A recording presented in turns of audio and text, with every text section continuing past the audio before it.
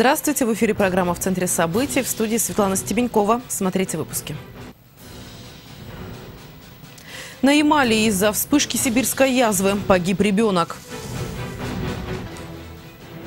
Югра в десятке ведущих регионов России по инвестиционному климату в сфере строительства.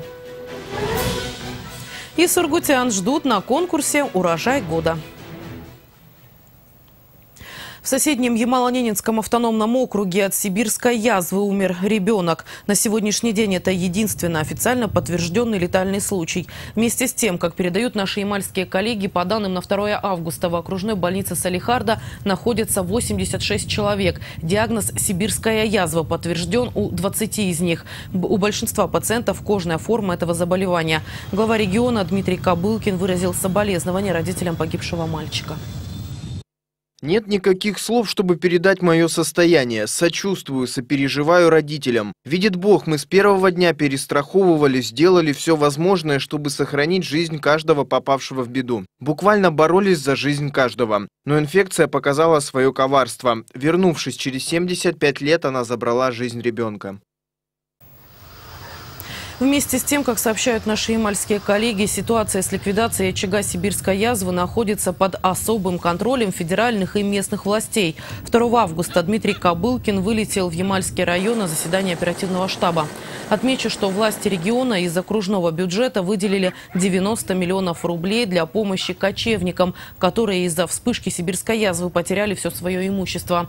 В Юрсалинской тундре определена безопасная территория. До переселения в новые чумы все тут тундровики продолжают оставаться в Ярсале под наблюдением врачей. 211 жителей Ямальского района провакцинируют от сибирской язвы.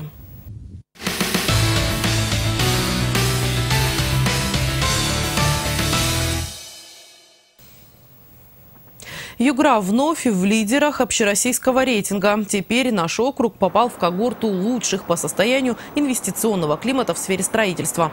В последние годы в автономии выдерживают планку в 1 миллион квадратных метрах нового жилья. Более того, для удобства застройщиков значительно сократились сроки согласования и выдачи разрешительных документов. Если раньше эта процедура занимала полгода, то сейчас необходимо порядка 100 дней. По информации правительства Югры за первое полугодие 2016 года года в округе построили больше 200 тысяч квадратов жилья. Темпы строительства, если сравнивать с прошлым годом, выше примерно на 10%. Окружные власти особо отмечают то, что все работы ведут строго по графику. До конца этого года в ХМАУ появится около 400 новых жилых домов. Цены на жилье сегодня находятся на таком сбалансированном уровне. Очень много акций проводят э, застройщики по Пусть это э, пока с определенным временным ограничением, но так называемая скидка при приобретении жилья, и, ну, цены на жилье в Сургуте уже дошли до 40 тысяч. 40-45 тысяч в этих акциях можно приобрести жилье. Поэтому я считаю, что 2016 год как раз должен нам дать планку э, баланса спроса предложений. Помимо стабильного строительства объектов, необходима и рациональная эксплуатация. Этот же принцип касается инфраструктуры. К 2020 году в Сургуте достроят Югорский тракт. Но несмотря на статус объездной дороги, проезд по этой магистрали быстрым назвать нельзя. Почему, выяснила Ольга Нахаева. Леонид Шарапов в Сургуте прожил 30 лет. Говорит, город развивался на глазах. Если раньше на машине можно было проехать в любое место за считанные минуты, то сегодня Леонид старается выезжать из дома с запасом времени. И такая ситуация сложилась не только из-за того, что Сургут с каждым годом становится все больше. Неразвитая дорожная сеть является причиной негодования многих автолюбителей. У нас э, вот очень много дорог исполосовано, исполосовано. Вот им иногда вот едешь все тут излиновано, все съезд, а съезд в болото. Как таковой дороги нету. А эту дорогу исполосовали. И так что э, ширина дороги может пропустить в два ряда в, в обоих направлениях. А вот из-за этой путаницы это все уменьшается. Югорский тракт является магистральной улицей с регулируемым движением. Разметка, знаки и светофоры располагаются на протяжении всей дороги. Специалисты обуславливают их наличие развитием социальных объектов, которые со временем появляются на разных сторонах от тракта. Каждый ограничивающий или рекомендующий знак появился на своем месте не случайно. Например, на участке дороги от улицы Заячий остров до улицы Энгельса раньше часто случались наезды на пешеходов. Сегодня так называемая объездная дорога, по сути, не выполняет свои функции. Сэкономить время, объехав пробки в городе, теперь, особенно в час пик, не получится. Светофоры не, мы не можем не убрать, потому что мы как-то должны организовать сами движение на пересечении транспортных э, э, линий, так скажем, да, траектории движения транспорта. Другой вопрос, что э, по генеральному плану города у нас, конечно, предусмотрено э, четыре транспортные развязки на Югорском тракте. Это на пересечении с улицы Дзержинского, Югорский тракт. Это на пересечении улицы Энгельса с улицы Энергетиков и пересечении с улицы Геологической. Вот. Но э, поскольку денег как бы, на строительство этих транспортных развязок пока, к сожалению, нет ни в бюджете города, ни в бюджете округа, вот, ну, поэтому должны быть перекрестки, должны быть светофоры. По техническим характеристикам Югорский тракт должен был быть дорогой скоростного нерегулируемого движения. Однако и въезд, и выезд на нее обустроены так, что поток машин циркулирует в черте города. Соответственно, все перекрестки оборудованы светофорами, разметками, пешеходными переходами. Убрать как бы нельзя в связи с тем, что повысится аварийность на самом Югорском тракте. Если убирать, то в случае надо необходимо строительство новых развязок, которые обеспечат бесконфликтно проезжать транспортным средством. За шесть месяцев этого года на Югорском тракте произошло более 300 ДТП, в которых пострадали 25 человек. По мнению специалистов, наличие правильных дорожных развязок позволило бы сократить количество несчастных случаев. Мнение горожан разделилось, видимо, в зависимости от того, бывают ли они там в час пик. В часы пик э, на выезде, получается, какая там улица. Согласен, что вот можно, например, убрать светофоры? В принципе, да. Сделать круговое движение, кажется, было бы лучше. Утром, вечером только, а так вообще доволен. Ну, периодически встречаться, но меня это абсолютно не напрягает. Пока не решен вопрос финансирования строительства двухуровневых транспортных развязок, наземных или подземных пешеходных переходов, на Югорском тракте останутся прежние ограничения скоростного режима. И пока статус объездной дороги по факту себя не оправдывает. Ну а сургутским автолюбителям каждый раз в час пик придется делать выбор – стоять в пробке в городе или на объездной дороге. Ольга Нахаева, Сергей Коликов, Сургут Интерновости.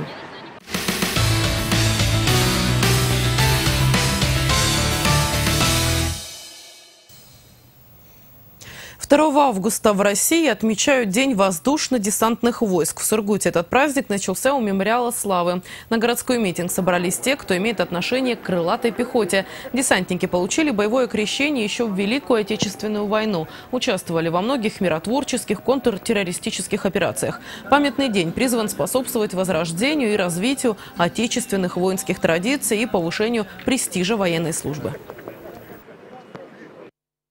бывших десантников не бывает. Я в своей жизни э, постоянно сталкиваюсь с коллегами, с друзьями, которые прошли службу в воздушно-десантных войсках. Хочу сказать, что это люди мужественные, ответственные, профессиональные, и они продолжают также трудиться на благо города Сургуты, на благо нашей Родины. С праздником вас поздравляю! Всем здоровья, счастья, удачи и сегодня хорошего дня! Всегда считалось, что десантники – это мужество и стойкость. Службу в ВДВ выбирают те, кто готов, рискуя собой, защищать свободу и независимость страны, обеспечивать мирную жизнь граждан. В Сургуте почти 700 человек могут по праву считать День ВДВ своим профессиональным праздником. Голубые береты стараются провести 2 августа так, чтобы этот день запомнился не только самим десантникам, но и всем сургутянам. Утром с подарками бывшие военные посетили Центр социальной помощи семье и детям «Апрель». После митинга для возложения венков отправились к памятнику воинов-интернационалистов. Будем надеяться, что вечером все-таки большая часть людей наших э, приедет сюда и будем отмечать уже совместно. В этот день как бы не рекомендуем употреблять сильные все-таки алкогольные напитки, потому что э, поддерживать статус десантника это не только важно, это и ответственно, и от каждого человека, и от каждого десантника очень сильно ну, зависит, я так скажу. День МВДВ для меня это, во-первых, память о службе, во-вторых, это память о тех, кто погиб, а также это просто традиция десантных войск. Второй день рождения практически, и Новый год одновременно. Во-первых, это наш как бы, профессиональный праздник. Э, Десантники, они всегда везде первые. Святой праздник на самом деле. Тот, кто в воздушно-десантных войсках, кому посчастливилось там служить, закалка на всю оставшуюся жизнь.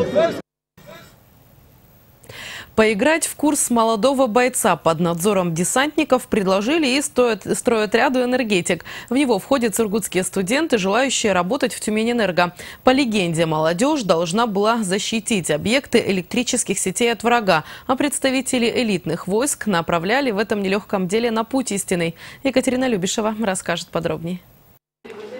Реквизит бутафорский, а вот десантники самые настоящие. Если девушки-организаторы студентов откровенно жалели, то мужчины в голубых беретах разлагать дисциплину были не намерены. Условную колючую проволоку заставили перевязать пониже, чтобы пересечь преграду по-пластунски было интереснее. Прям какого-то такого прям приобщения не было, потому что, понятное дело, что ВДВ куда сложнее, что там все не так происходит. Ну и в какой-то степени такое, что детское было в плане развлекательного. Следующее испытание – болото. Добрые организаторы нарисовали кочки маркером на полу. Хоть погода и позволяла попрыгать через лужи на открытом воздухе. Мальчиков выручили их длинные ноги, девочек – грация балерин. Пятеро в болотах утонули, все остальные спаслись. Мне больше всего запомнилось сегодня прыжки по болотам. Мне кажется, можно было бы усложнить ползки под преградами, сделать более длинными их и почаще. Следующая дисциплина и вновь тепличный вариант – огневой рубеж. Бережно сшитую женскими руками гранату кидали в окоп. За неимением последнего и обруч подошел. Штрафные баллы принес команде лишь один парень. Перестарался. Играть в помещении надоело всем. Десантники дали команду всем выйти из укрытия. Девушки поспешили одеть 20-летних детей в дождевики. Забота, без нее никуда. Задача – перенести раненых бойцов через бранное поле, ну или мокрый асфальт. Больными назначили легких девушек. Спасателями сильные парни провозгласили себя сами. Тут все логично. Но и стрельба, куда без них. Увы, тут опять бутафория. Бумажный листок удачно застрелили. Никто не пострадал. Ну что, отряд энергетики, поздравляю вас с успешным выполнением задания. Защита энергообъекта. Все справились, молодцы. Вы набрали 51 балл, что означает, что вы готовы выполнять задачи сургутских электросетях. Молодежь справилась с испытаниями. Решающим был всего один балл. Каждый из них заслужил за труды кусок пирога и кружку горячего чая. Екатерина Любишева, Денис Зонов, Сургут Интерновости.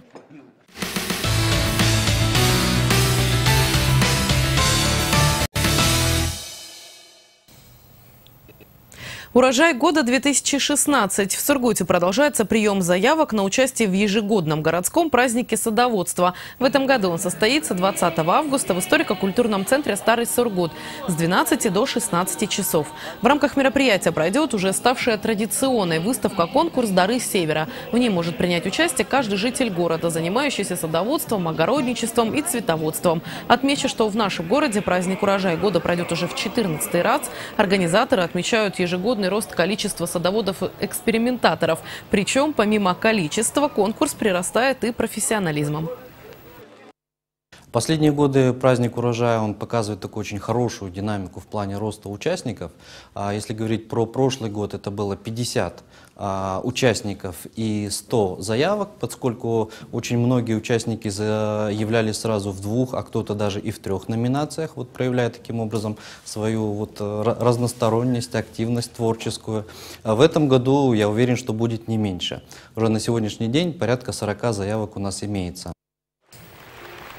Подать заявку об участии можно до 17 августа в историко-культурный центр «Старый Сургут» или по телефону 24 78 39. Стоит добавить, что в этом году номинации выставки конкурса значительно расширились. Помимо традиционных «Урожай года» и «Цветочная симфония» добавились еще шесть номинаций. Это фотоконкурс на дачную тематику, презентация домашних животных, выращенных на приусадебных участках, дефиле в дачной одежде, выполненной из подручных материалов и многое другое.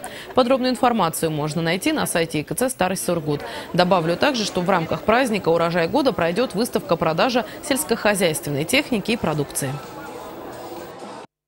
Будут предлагаться товары, связанные с э, дачным ландшафтным дизайном, средства малой механизации, э, элементы украшения дач, э, огородов и так далее. Поэтому действительно будет каждому что посмотреть. Приедет достаточно большое количество товаропроизводителей с юга Тюменской области и представят на ярмарке очень широкий ассортимент своей продукции, который можно будет купить сургутянам. Наряду с урожаем года в составе брендовых мероприятий Сургута числятся соцветия и сабантуй. Они помогают настроить межнациональный диалог между горожанами. Насколько эффективно получается реализовать эту задачу в экономической столице Югры, выяснял Дмитрий Подлесной.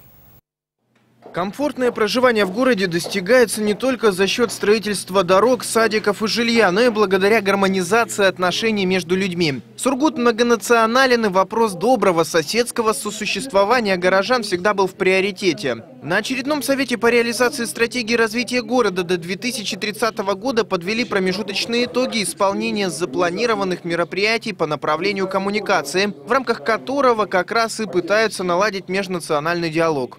Число значимых событий культурной жизни города входят фестиваль национальных культур соцветия и городской праздник Сабантуй, который на протяжении многих лет демонстрирует культурный диалог народов, проживающих в Сургуте.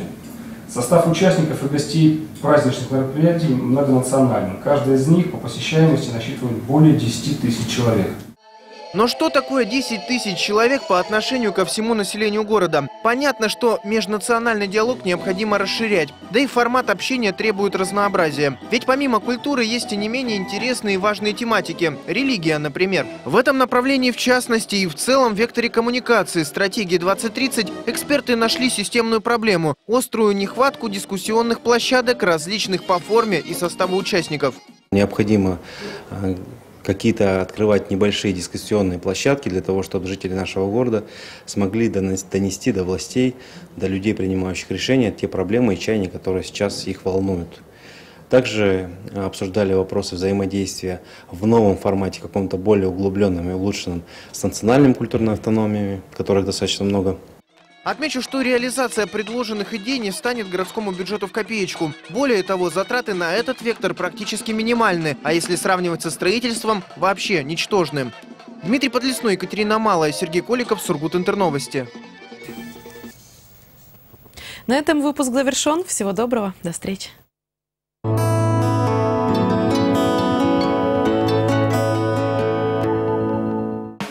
Быстро найти любую информацию играть с друзьями по сети. Или смотреть фильмы. Метросеть. Интернет, как вам нравится. Готовое жилье в Подмосковье от 2 миллионов 250 тысяч рублей. Закрытый двор, видеонаблюдение, большая парковка и отлично развитая инфраструктура в 25 километрах от Москвы. Подробная информация в официальном офисе продаж компании «Сипромстрой» по адресу город Сургут, Тюменский тракт, 2, дробь 1 и по телефону в Сургуте 600 190.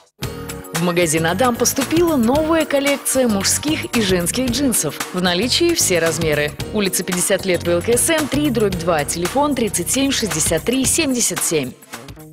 Ювелирный салон «Рубин» открывает богатый мир совершенной красоты, запечатленной в благородных металлах и драгоценных камнях. Украшения от известных производителей. Эксклюзивно в «Рубине» представлены мужские цепи «Бисмарк». Сургут, Югорская, 5, дробь 2, салон «Рубин». Соленик.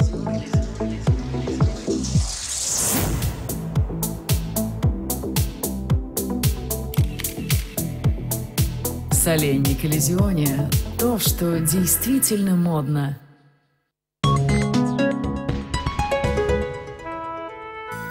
И о погоде на 3 августа – Здравствуйте, в студии Алина Белявская. Генеральный партнер прогноза погоды – компания «Еламед». Что делать, когда уходит былая легкость движений и коварный недуг отравляет жизнь? На помощь приходит физиоаппарат «Алмак-01». «Алмак-01» создан, чтобы устранить боль, снять воспаление в суставах и позвоночнике. В августе успейте купить «Алмак-01» по низкой цене в аптеках «Фармадом», «Планета здоровья» и «Аптека от склада». Невыносимая боль в спине, беспокоят суставы, травмы, выход есть. Магнитотерапевтический аппарат «Алмак-01». Его по праву можно назвать классикой магнитотерапии. В ночь на среду в среднем приобе эхом уходящего атмосферного фронта еще кое-где отзовутся скоротечные дожди. Днем скажется влияние гребня антициклона, благодаря чему постепенно распогодится, а температурный режим вернется в свое климатическое русло. Ночью в Сургуте и окрестностях облачно с прояснениями, возможен кратковременный дождь. Ветер северо-западный 4,9 метров в секунду. Температура воздуха плюс 12, плюс 17. Утром облачно с прояснениями небольшой дождь. На столбиках термометров 17-20 градусов тепла. Днем переменная облачность без существенных осадков. Ветер юго-западный 3,8 метров в секунду. Температура плюс 20, плюс 25. В магазине «Домашний погребок» глобальная распродажа дистилляторов и дубовых бочек, а также большое поступление тульских и персидских самоваров. Домашний погребок – первый в Сургуте магазин аксессуаров для домашнего приготовления праздничных напитков и солений – в течение дня солнечная активность умеренная, геомагнитное поле неустойчивое. Атмосферное давление будет расти и составит 759 миллиметров ртутного столба. У Карапуза все просто. Молочные смеси для роста, цены падают, скидки радуют. Детские сухие молочные смеси теперь еще дешевле. Только в Карапузе. Всегда радостные покупки для детей в магазинах «Карапуз». Достойное качество по выгодным ценам – Пусть ваши мечты сбываются. До свидания.